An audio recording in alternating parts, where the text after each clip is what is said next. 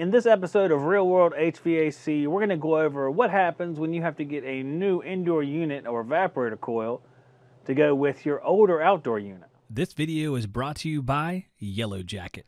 This is your friendly reminder that we are giving away these recovery pliers from Yellow Jacket at the end of the month. So make sure you are subscribed and make sure you are commenting on every single video in the month of June to make sure you have your chance to win. So I had a job several years ago where an evaporator coil was leaking in a Trane metal air handler. And by metal, I'm referring to the older TEC, TWE type models. Now this was a system that was probably from, I don't know, between 2000 and 2010. Outdoor unit was in really good shape. And the indoor evaporator coil, which was the component that was damaged, was actually not in good shape. It was leaking. So when I called to get a price on it, I'm not a Trane dealer, so I don't know if the pricing would have changed that much for a Trane dealer. All I know is the price for me was so high. It was, I think, about $1,500 for that particular coil, my cost. So it was easier for me just to go buy an air handler. And for that amount of money, I could actually afford to go buy the TAM7 Hyperion air handler, which was perfect for my situation because I was dealing with an R22 outdoor unit. And even though it was in great condition, it was still R22. Those air handlers actually had a dip switch that allowed you to switch from R22 to R410A and back and forth based on what refrigerant you needed since it had an electronic expansion valve. That allowed me to pair these things up, and it was such a close pairing that it really didn't make much of a difference. Now, that's not always the way it works. If you had to replace an evaporator coil, and it's easier just to purchase an entire air handler because of the cost of it, now, weighing in the cost of the installation is it's definitely different when you're changing out an entire air handler because you get into ductwork. But even in instances where they don't carry the part anymore, and it happens, even on systems that aren't that old, sometimes they don't carry the parts anymore for whatever reason. It's sort of nerve wracking, but it does happen. What are the dangers you get into if you have to upgrade the air handler to a more efficient version? Like you had a matchup for 12 SEER, but maybe this new matchup is 14 or 15 SEER. That's what the air handler is made for. Of course, your outdoor unit isn't 15 SEER.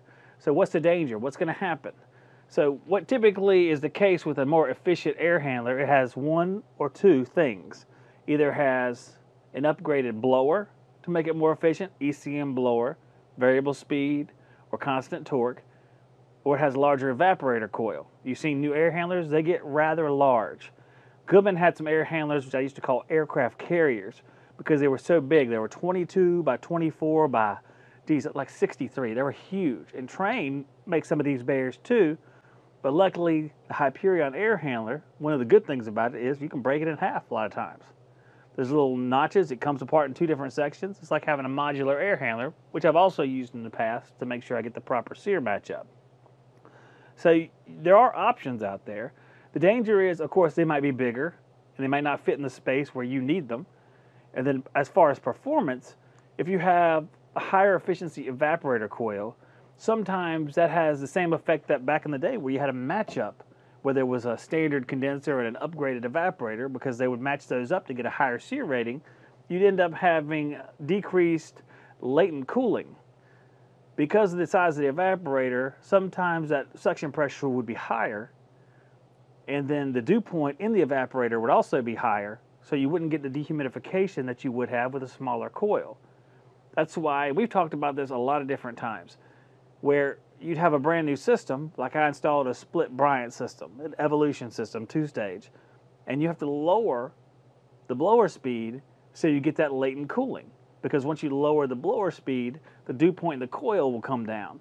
It's a little bit frustrating because it's almost like you have to derate the machine to get comfort out of it. It qualifies for a certain efficiency when it's at 400 CFM per ton, but you're not comfortable at 400 CFM per ton because the latent load may be too high for that machine. So you have to lower the blower speed so you can change the ratio of sensible uh, output and latent output. Now that sounds kind of complicated, but it's really not. It's basically slowing air down across the coil so that coil temperature comes down, allows more water to condense out of the air, fall into the drain pan and flow away. So a major problem is dehumidification. Now, depending on the difference in efficiency and size, it may not be that big of a deal. And you can lower the blower speed, but it's always like a dance you do between total capacity and latent capacity. because you can't just lower the blower speed more and more because eventually, you know, your top capacity starts coming down. You want to be able to keep up with a sensible load.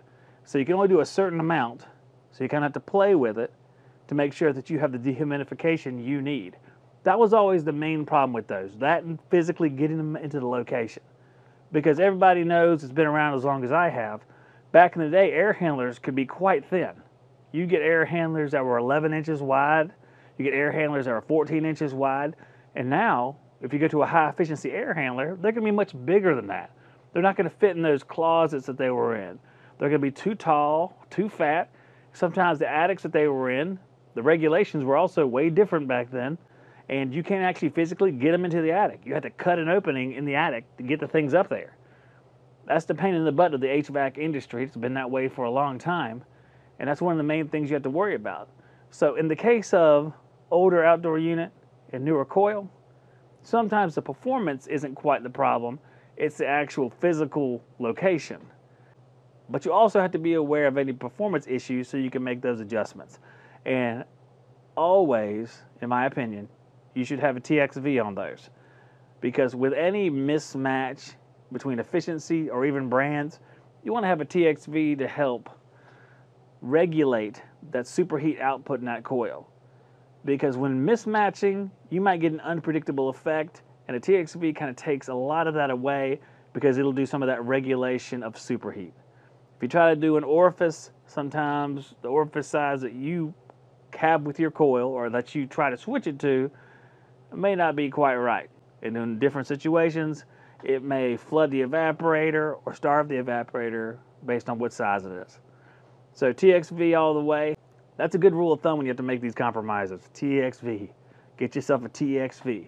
There's a lot of aftermarket TXVs with adjustable superheat knobs on the bottom.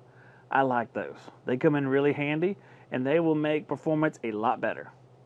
So I hope you guys enjoy this.